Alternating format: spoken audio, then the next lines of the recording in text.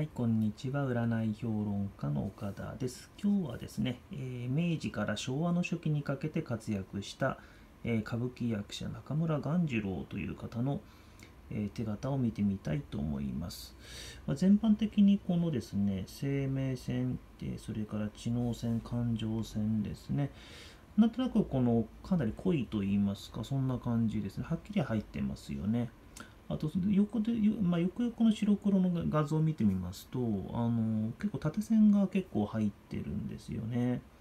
あとまあこの辺にですねビジネスをこう司るようなこう起業するようなねそんな線も、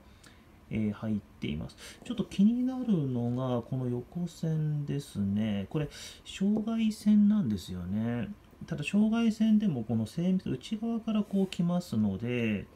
まあ、こういった歌舞伎のね、家ですので、いろんな葛藤とかあったのかなと思います。障害線ってこう外から来る障害線っていうのは、まあ、事故とか、えー、病気が多いんですけども、内側から来る場合っていうのは、まあ、離婚とかですね、内輪もめとかね、あるいは親が亡くなったりで、いろいろ吸ったものとすることが多いんですよね。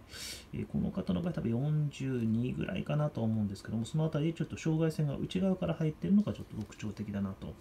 思います。はい、えー、ではまたアップいたします。